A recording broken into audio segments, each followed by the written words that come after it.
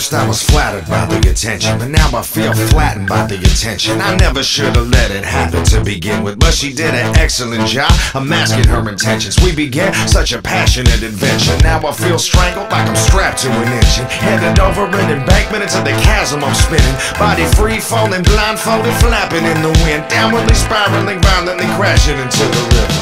I feel so paranoid, terrorized. There's a pair of eyes on me everywhere I hide. I'm barely alive, and every time I try to tear away, she magically arrives, teary-eyed, and instills the fear of God and me, paralyzed. I'm being followed by a triceratops, and it's scary how we always side by side, parallel lines. Leaving's just an exercise in futility, cause here I lie back at square one. Girl, you killing me.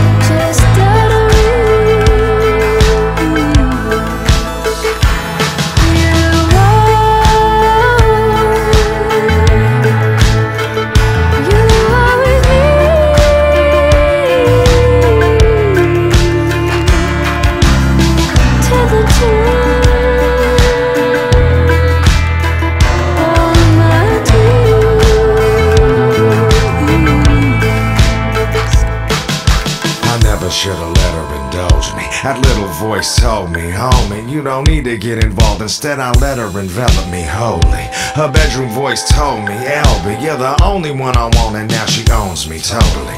Brilliant how she entered my whole being slowly, concealing her intentions and motives. She saw the holes in my ego and she filled every opening. So easy, now I'm in her throes and I feel her jaws closing.